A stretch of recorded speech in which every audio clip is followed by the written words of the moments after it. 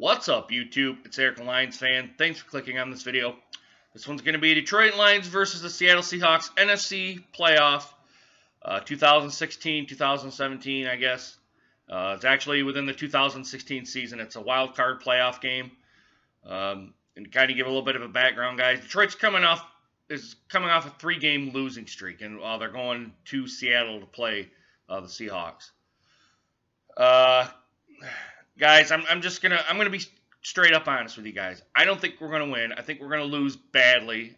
It very well could be a blowout, all because of what we've seen last week against uh, the Packers for the NFC North title of all things. Uh, as you guys know, my in my rant video, this this team, I, am gonna stick by what I said, guys. This team has no heart. Has no heart. Uh, I don't think Jim Caldwell to me, I'm fine with Caldwell coming back, and I'll get to that here in a minute, but I don't think Caldwell can rally the troops, to, to use that phrase, and to get the players ready to face Russell Wilson. Because Russell Wilson is more of a mobile quarterback than Aaron Rodgers is. Because um, once Russell Wilson doesn't see he has any a, a play to make or a throw, he'll just go off and he'll start running and he'll gash people. He will. He'll gash them. I have not seen any uh, Seahawks games. Now, a couple people in my comments seem to think that we're going to win. I, I don't, I don't, I don't see how, you guys. I, I'll be honest. I don't see how, uh, because the Seattle team seems to be a different team in the playoffs. And that's the only time when I ever really watch the Seahawks is when they're on TV and they make they've made the playoffs. Uh,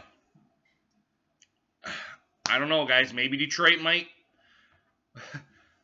might shock us and get our second win in 50 years. I just don't I guys, I just don't really see how it's going to happen. The defense is going to have to step up. I mean, and, and, we haven't stepped up in the last 3 games. We haven't stepped we didn't step up against the Giants, we didn't step up against the Cowboys and we didn't step up against uh, the Green Bay Packers at home.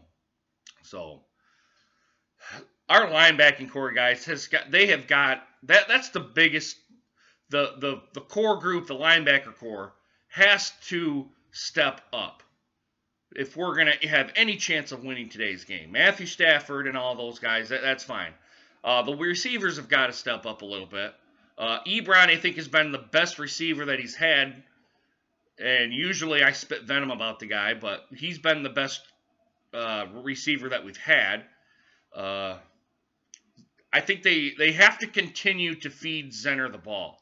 If Zenner's going to start and play, they have to keep feeding him the ball because we seem to be a good run blocking team. It's our pass blocking that seems to break down, and then he's got a, uh, Matthew Stafford's got to scramble. Oh, that's another thing. If Matthew Stafford scrambles, he has to make good decisions with the ball. If he doesn't see something, he just can't just kind of force it in there. Just throw it out of bounds and take another and live another down.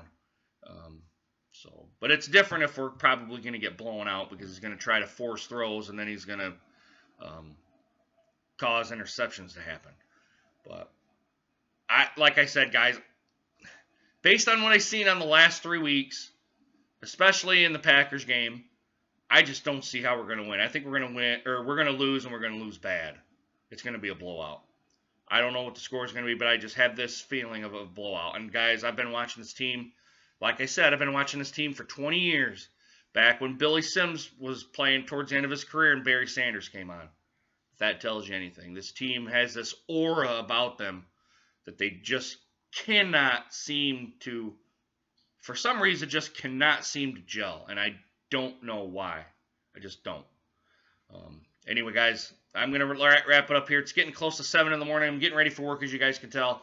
Uh, let me know what you guys think. Do you guys think uh, Seattle's ripe for the picking? Do you guys think we're going to go in there and steal a win? Uh, go ahead and put it down in the comments. Also, do a like, subscribe as well. And as always, guys, I hope you guys enjoyed this video. Hope to see you guys again soon. Deuces, guys. Hopefully we win. Go Lions.